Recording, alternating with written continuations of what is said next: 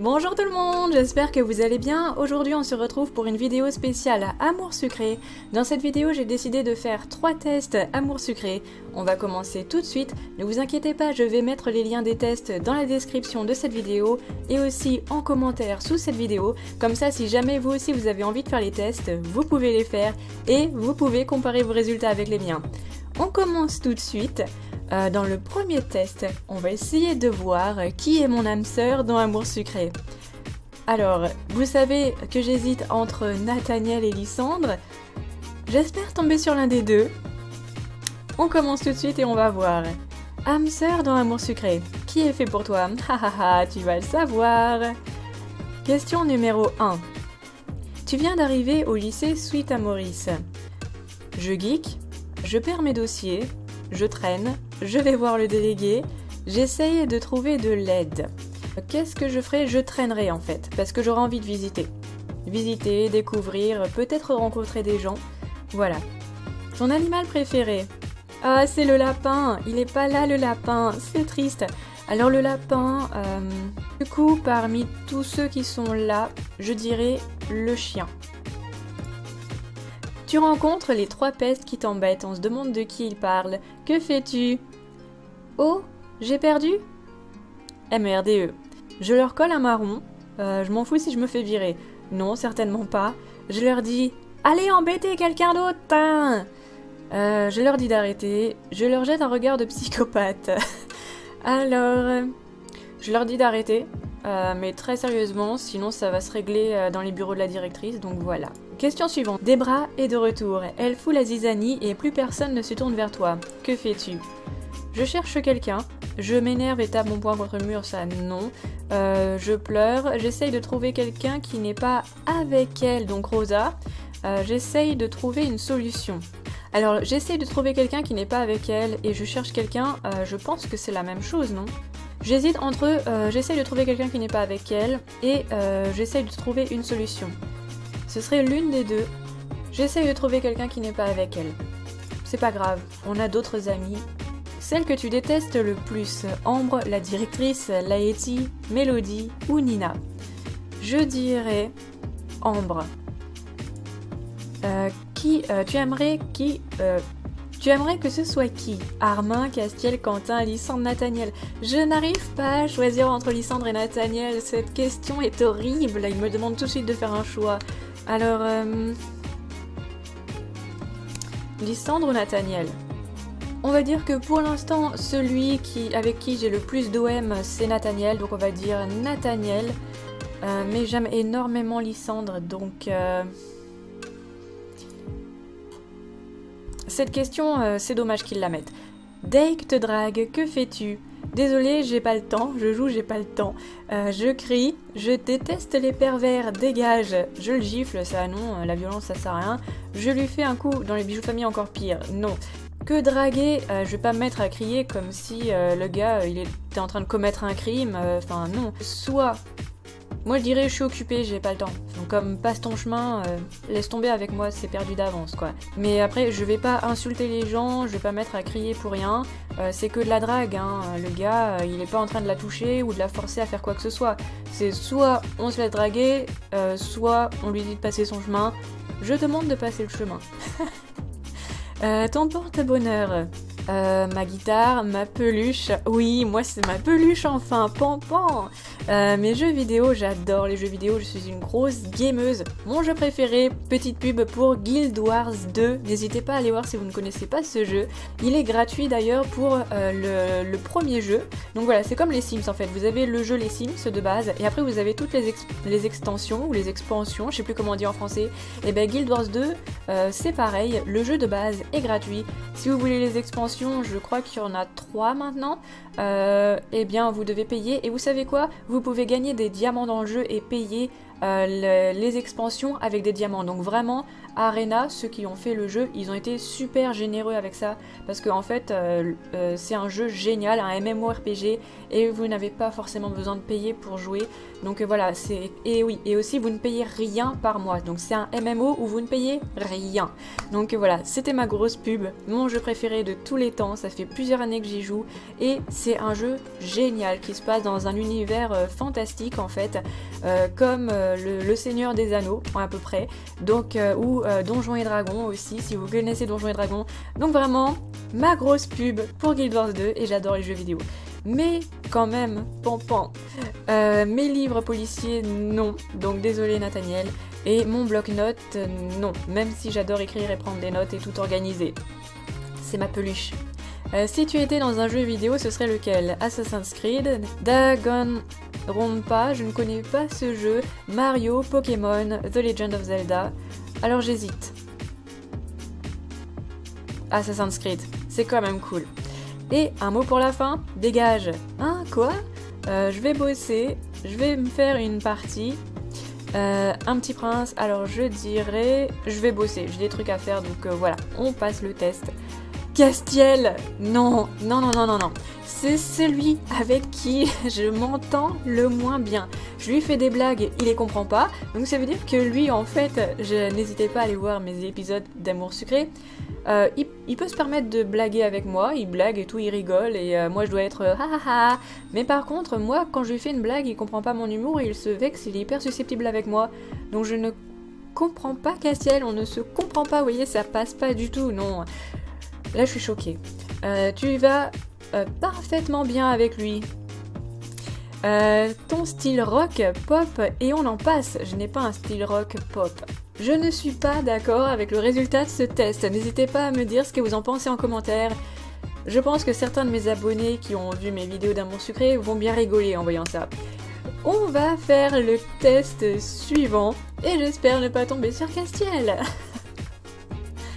Alors le test suivant, c'est encore euh, pour savoir quel garçon est fait pour nous, parce que j'aimerais voir si je vais obtenir le même résultat ou pas. Alors, quel garçon d'amour sucré est fait pour toi? Question numéro 1. De quel personnage imaginaire es-tu tombé amoureux? The. Je suis une fille. Euh, sinon, choisis celui que tu préfères. Eric, de la petite sirène. Quand même, il est pas mal. On va pas dire le contraire. Euh, quel animal préfères-tu? Les lapins, bien évidemment, les lapins. Euh, si tu avais le pouvoir d'exaucer un vœu, lequel serait-il? Alors, euh, ce serait... Être heureux. Qui n'a pas envie d'être heureux, franchement? Quel est ton pire défaut? Alors, mon pire défaut, parmi tout ce qui est cité, tu n'es pas toujours très franche, euh, non, c'est pas vrai. Je suis toujours très franche. Quand il y a quelque chose à dire, je le dis. Même si, quand même, je le dis poliment et respectueusement. Attention, hein. Euh, ta jalousie, non. Ton manque de confiance en toi, ton insouciance ou ta flemme. Euh, je n'ai certainement pas la flemme, au contraire, je suis toujours très occupée. non, je suis quelqu'un qui bouge toujours. Je suis certainement pas flemmarde. Je dirais mon manque de confiance en moi. Oui, grosse révélation. je manque de confiance en moi. Question numéro 5. Quelle est ta plus grande qualité? Ta force de caractère, personne ne te marche sur les pieds, euh, ton sens du devoir, ta générosité, ton attention vers l'autre ou ta détermination. Ma plus grande qualité, donc le plus grand parmi tout ça, mon attention envers l'autre, je dirais. Question numéro 6. Qu'aimes-tu faire pendant ton temps libre? Aller au concert, cinéma. C'est vrai que je suis une grande cinéphile. J'adore regarder des films, lire des romans. Non, en fait, je suis pas vraiment une grande lectrice. Je l'étais avant, mais plus maintenant. Sortir, faire un tour, rêver, rester chez toi tranquille. Pendant mon temps libre, je dirais euh, celle qui me correspond vraiment le plus, rester chez moi tranquille, parce que je vais pas forcément regarder des films au cinéma. Euh, je regarde la plupart des films que je regarde, je les regarde chez moi en fait. Donc, restez chez moi tranquille. Quel genre de vêtements préfères-tu porter? Alors, veste en cuir et poignée de force, ça c'est ton look? Non. Tu préfères les vêtements discrets mais élégants, oui. Tu aimes les tenues mimi? Aussi. Tu aimes les jolies robes et les corsets? Euh, j'aime les jolies robes. Euh, j'ai beaucoup de robes, j'adore ça. Corsets, j'en ai quelques-uns, j'avoue mais je les porte pas vraiment. Euh, c'est vraiment, ça dépend. Euh, des occasions quoi. Il faut des vêtements pratiques et confortables bien sûr. Donc Bon, on va dire discret mais élégant. J'ai quand même des robes, comme je l'ai dit. Mais c'est pas. Je, je, porte pas non plus des corsets régulièrement ou quoi que ce soit, ce exagéré. Euh, question numéro 8. Que fais-tu lorsque tu es triste? Tu t'isoles et tu écoutes de la musique à fond. Euh, ça m'arrive et ça me redonne la pêche en fait d'écouter de la musique parce que euh, quand je suis triste en fait j'écoute pas des musiques qui font pleurer. Souvent il y en a qui mettent des musiques pour pleurer, je ne comprends pas. Euh, moi j'écoute vraiment des musiques qui ont du, punch quoi, qui, qui tapent aussi, où il y a vraiment un bon tempo, un bon rythme et ça me redonne la pêche et là je vais de l'avant quoi. Je, l'ai déjà dit dans une autre vidéo, je suis une warrior, une battante et moi il faut que je, je passe mon chemin et je vais de l'avant. Voilà. Move on. Euh, tu pleures un bon coup et tu passes à autre chose. Ça, bon vraiment si j'ai besoin de pleurer, oui, on fait un coup, après on passe à autre chose. Tu as des trucs à faire pour prendre le temps d'être triste, oui. Euh, ça la 2 me correspond beaucoup. Tu attends désespérément que ton prince charmant vienne. Non. Non. Euh, tu te confies à. Oui, des fois ça peut faire du bien de se confier. tu essayes d'oublier les milers avec un bon film jeu. Ça m'arrive aussi quand je suis triste de juste jouer et après ça va mieux. Parce que quand je joue, en fait, je joue aussi avec mes amis. Et, euh, et voilà. Alors attends. Qui me correspond, qu'est-ce qui me correspond le mieux ici? Si je suis vraiment, vraiment, vraiment triste, déprimée, je vais me confier à une amie peut-être. Et faire des choses avec elle, éventuellement. Je pense qu'il faut pas rester seul quand vraiment on est, on touche le fond. Vraiment, quand on touche le fond, faut pas rester seul, je pense. Donc, je vais choisir celle-ci. Question numéro 9. Où voudrais-tu partir pour les prochaines vacances? Euh, Au Japon. Alors, en festival de musique rock, tu ne sais pas, il faudrait que tu étudies soigneusement toutes les possibilités qui s'offrent à toi. Non, moi je sais, hein. moi c'est déjà dans ma tête. Euh, en croisière sur un beau bateau, non. Euh, dans un bel endroit où tu seras tranquille et où tu passeras ton temps à contempler le paysage. Tu préfères rester chez toi de toute façon, tu n'aimes pas la mer et la montagne, il n'y a pas de réseau. Non, moi j'adore voyager, donc les prochaines vacances j'ai envie de bouger, j'ai pas envie de rester chez moi. On va dire euh, celle-là, parce qu'en fait, un festival de musique rock, euh, enfin partir pour les prochaines vacances, pour moi c'est partir vraiment, donc c'est pas aller juste à un concert et puis voilà, c'est fini. Voilà, c'est ça ce qui me dérange, même si j'aimerais beaucoup aller aussi en festival de musique rock, ou de musique en général. Là, ce qui me dérange, c'est tu ne sais pas, non, moi je sais déjà. En croisière sur un bateau, pas spécialement. Moi j'aime vraiment vraiment voyager donc euh, c'est pour ça que je vais choisir celle-ci en fait. Où préfères-tu manger? Dans un fast-food, dans un restaurant classe, chez ton chéri qui t'a préparé un dîner aux chandelles, dans un joli parc, chez toi tu as commandé des pizzas ce soir, n'importe où tant que c'est bon. Alors moi, c'est vrai que c'est souvent n'importe où tant que c'est bon. Voilà, moi tant que c'est bon, c'est bon. Euh, question numéro 11. Quelle est la première chose que tu recherches chez un homme? Attention, il doit te faire rire, le sérieux avec le sens des responsabilités. Faut quand même rigoler, il faut pas que ce soit trop rigide non plus. Il doit être dévoué, ça non, l'absence de préjugés, il doit te laisser libre. La première chose que je recherche chez un homme, il doit me laisser libre. Euh, ça pour moi c'est une règle en amour, euh, même même si je serais, euh, si vous êtes un garçon et que vous êtes en couple avec quelqu'un, la personne vous aime pour ce que vous êtes maintenant et ne doit pas vous dire comment euh, être, ne doit pas vous donner d'ordre sur ce que vous devez faire, ne pas faire, etc. La règle d'or, et c'est ça aimer, c'est quelqu'un qui vous laisse libre, qui vous laisse faire ce que vous avez envie de faire, qui vous laisse aimer ce que vous aimez, qui vous dit pas euh, qui vous devez fréquenter, etc. On doit laisser l'autre libre si on l'aime. Euh, question numéro 12. Tu changes d'établissement scolaire. Premier jour de cours, quelle est ta réaction? Un nouveau lycée, ça me saoule déjà, vivement les vacances. Chouette, de nouveaux profs, j'espère qu'ils m'apprécieront. Non, je ne suis pas Mélodie. oh non, j'ai peur, je veux pas y aller, je veux pas y aller, je veux pas y aller. Euh, j'espère que je pourrai trouver un coin tranquille pour la pause. Ok, console, check. Écouteur, check. Encas, check. C'est bon, go. Euh, j'espère que j'arriverai à bien m'intégrer dans la classe. Alors, premier jour de cours, ma réaction.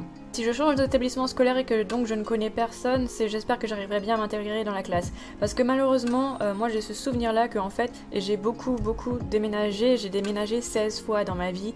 Et c'est vrai que quand euh, on arrive dans un, nouvel établissement, souvent les gens se connaissent, donc il y a déjà des groupes de formés et euh, c'est difficile parce que nous on connaît personne et on ne sait pas bah, forcément dans quel groupe aller, qui aller voir.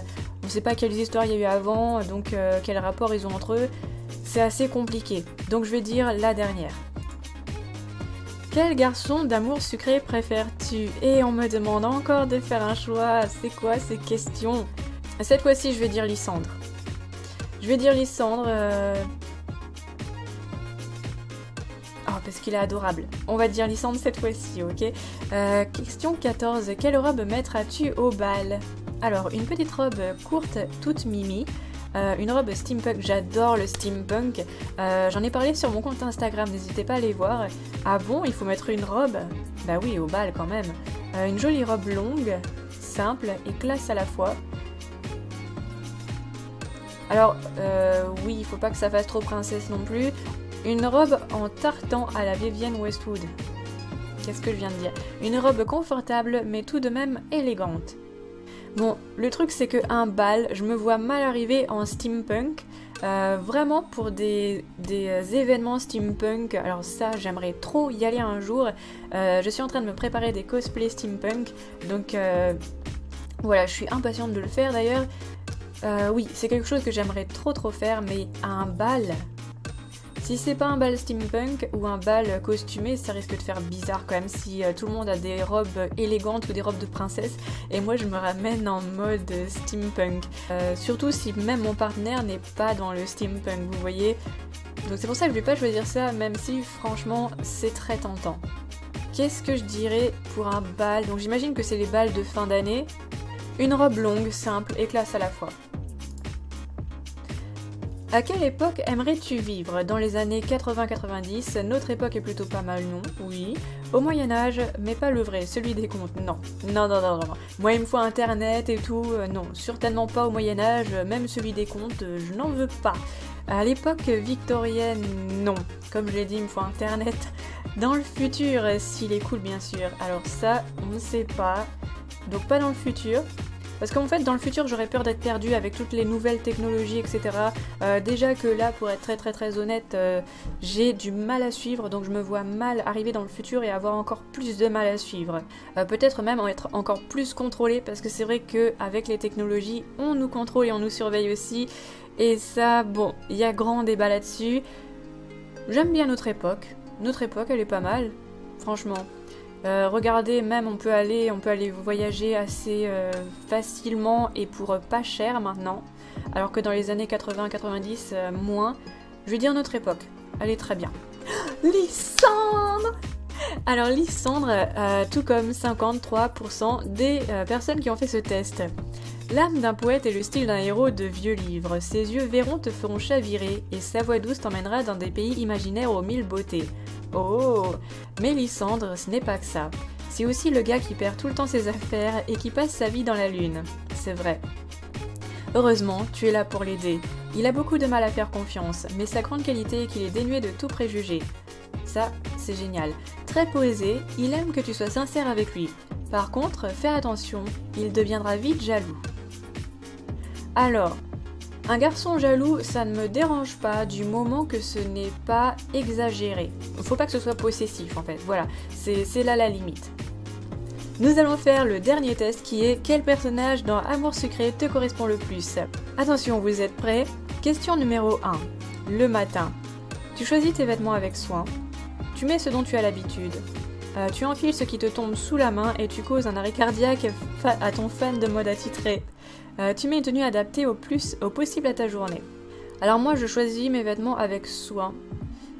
Et euh, ce que euh, je fais, c'est que même je regarde le temps qu'il va faire et en fait je prépare mes vêtements. donc je les sors, je sors ma tenue en fait avant. je vais le soir, ensuite je vais me coucher et comme ça le lendemain matin j'ai juste enfilé mes vêtements. Donc vraiment j'ai choisi mes vêtements. Question numéro 2 c'est les soldes et Rosalia veut absolument te traîner dans les magasins. Quelle est ta réaction? Bien sûr. Euh, quand c'est les soldes, moi c'est souvent là que j'achète mes vêtements aussi. Euh, question numéro 3. Tu entends par hasard sur la radio une musique super sympa. Elle vient pas d'un film cette chanson? Elle est cool, tu ne trouves pas? Je vais essayer de trouver le titre. Tu essaies de la rejouer ou tu fredonnes les paroles un moment, tu finis par l'oublier. Alors moi j'essaye de trouver le titre pour ensuite la mettre dans mon baladeur, etc. Enfin voilà. Quand vraiment j'aime une musique, j'ai envie de savoir quelle musique c'est évidemment. Question numéro 4. Quelle est ta couleur préférée? Alors on va dire le bleu, c'est ce qui se rapproche le plus du violet ou du mauve. Question numéro 5. Une fille s'approche de toi, les joues rouges, pardon, les joues rouges et les paupières papillonnantes. Euh, tu deviens rouge gentiment, qu'est-ce qu'il y a? Euh, Eh bien, qu'est-ce qu'il t'arrive encore? Bon, encore, euh, je dirais qu'est-ce qu'il y a? Question numéro 6. Quel est ton genre de personne? J'aime les personnes sûres d'elles et qui n'ont pas peur du regard des autres, ça oui. Euh, j'aime les personnes mignonnes qui rougissent facilement sous mes taquineries, ça non. Euh, j'aime les personnes avec du caractère, oui. J'aime les personnes sérieuses. Pas trop sérieuses non plus, il faut, faut, aimer plaisanter avec moi. Donc j'hésite. Euh, entre la 1 et la 3. Ça se rejoint beaucoup, hein. Les la, la 1, les personnes sûres d'elles, et qui n'ont pas peur du regard des autres. Faut savoir que les personnes qui sont sûres d'elles et qui n'ont pas peur du regard des autres, du coup, vont pas euh, avoir peur non plus de votre opinion, euh, de, ce que vous pensez en fait d'elles. Donc vont vous dire clairement les choses et moi c'est ce que j'adore chez les gens. Comme je vous l'ai dit, j'aime que les choses soient dites, que ce soit euh, clairement dit, que ce soit clair pour tout le monde. Et au moins ces personnes-là, vous savez, vous pouvez aussi compter sur elles, qu'elles sont reliable, comme on dit en français, qu'elles sont euh, fiables, voilà, puisque, euh, enfin voilà, si elles vous disent qu'elles vont faire quelque chose, elles vont le faire. Si elles n'ont pas envie de le faire, elles vont aussi vous dire j'ai pas envie. Donc euh, voilà, c'est pas quelqu'un qui va, faire semblant pour vous faire plaisir, et ça, c'est ce que j'aime chez les gens. Question numéro 7. Ta pire vient de t'humilier devant tout le monde. Que fais-tu? Tu lui colles un nion, elle aurait bien cherché cette grognasse, non, la, violence ça ne sert à rien. Tu lui décoches une remarque sanglante, ça m'arrive. Tu l'ignores, après tout, elle ne mérite pas ton attention, ça aussi. La vengeance est un plat qui se mange froid, ça m'arrive aussi, pour être très honnête. Alors attendez, qu'est-ce qui me correspond le mieux? Ça dépend vraiment des situations, en fait. Donc je vais dire la réponse numéro 3. On ignore. Euh, question numéro 8. Boris te propose de faire un match de basket amical avec les garçons. Oh oui, ça faisait longtemps que je n'en avais plus fait. Oui, ça peut être sympa. Je vais tous les écraser. Oula, non, sans façon, vraiment, je suis allergique au sport. Euh, je ne suis pas allergique au sport. Oui, ça peut être sympa. Euh, question numéro 9. Le garçon que tu aimes en secret sera avec une autre fille. Comment réagis-tu? Tu t'en fiches, tu lui dis quand même. S'il t'aime plus qu'elle, il te choisira. Alors ça, non. Euh, moi, quand quelqu'un est déjà avec quelqu'un, on laisse les couples, d'accord il, a fait le choix d'être avec elle, il a fait ce choix librement, d'accord Le garçon, il était libre, il n'a pas été contraint avec un couteau sous la gorge. On les laisse ensemble, d'accord euh, La 2, tu ne lui adresses plus beaucoup la parole, tu préfères prendre un peu tes distances. Ça, je pense que c'est bien en fait pour euh, nous nous détacher nos sentiments de lui et ensuite être vraiment une amie, sans arrière-pensée ni rien. Et 3, tu lui souris et tu lui souhaites le bonheur, même si au fond tu n'emmènes pas large. Alors je lui souhaiterais le bonheur, oui. Mais après, il faut réussir à se détacher quand même. Donc là, je pense qu'à partir de ce moment-là, il faut quand même prendre un peu de distance, sans forcément faire payer la personne non plus, parce que lui, il n'y est pour rien, on est d'accord. Donc j'hésite entre la 2 et la 3. Euh, mais j'irai pas non plus euh, l'ignorer. C'est le tu ne lui adresses plus beaucoup la parole qui me dérange en fait. Et là, ce qui me dérange dans la troisième, c'est tu n'emmènes pas large. En grandissant, je sais qu'on est enfant, on se dit c'est lui, c'est le seul. Mais en grandissant, on se rend compte que non. Euh, non, non, non. Et en fait, euh, bon, bah, si c'est pas possible avec cette personne, faut se détacher, faut prendre du temps pour nous et ensuite euh, move on. Je vais lui dire la 2 parce que en fait là vraiment ce qui me dérange c'est tu n'emmènes pas large. Non, il faut vraiment passer à autre chose. Question numéro 10. Ce qui arrive à te sortir de tes idées noires. Te plonger dans la musique, oui. T'enfermer dans ton univers euh, aussi, les jeux vidéo. Un bon livre, non. Sortir avec des amis, peu importe, peu importe, peu importe, pardon, où vous allez. Oui, alors ça, oui. Euh, les amis, l'entourage, oui. Question numéro 11. Les choses ont commencé à chauffer un peu plus tôt entre ton homme et toi. Vous êtes allongé sur le lit quand voilà que la porte s'ouvre et ton frère entre. Alors mon frère ne fait jamais ça, euh, on frappe toujours à la porte. Euh, surtout quand on sait qu'il y a quelqu'un. Tu te lèves brusquement et lui claques la porte au nez. Alors, non. Euh, surtout que ça peut être dangereux. Imaginez, il y a ses doigts, même ou ses, ses pieds. Enfin, non, on fait pas ça. Tu commences à l'insulter. Il ferme la porte aussitôt, certainement pas. Tu rougis et essaies de te cacher tant bien mal. Non. Tu lui demandes de quitter la chambre sans t'énerver, oui. Question numéro 12. Tu tombes par hasard sur ta meilleure amie en train de pleurer. Elle t'aperçoit et se jette dans tes bras en pleurs. Oula. Bah alors, faut pas te mettre dans des états pareils. Allons, allons, calme-toi, respire, voilà. Tu l'enlaces très fort sans dire un mot. Euh, eh bien, je ne savais pas que je te manquais autant. Euh, c'est vrai que l'humour, beaucoup. Euh, je pourrais aussi dire euh, la blague de euh, pleure pas autant, sinon je vais devoir mettre mon au, au sèche-linge. Oui, mais là vraiment, moi ce serait d'abord d'enlacer très très fort, bien évidemment. Premier réflexe, quelqu'un qui se jette dans nos bras, c'est quelqu'un qui a besoin d'un câlin et de réconfort.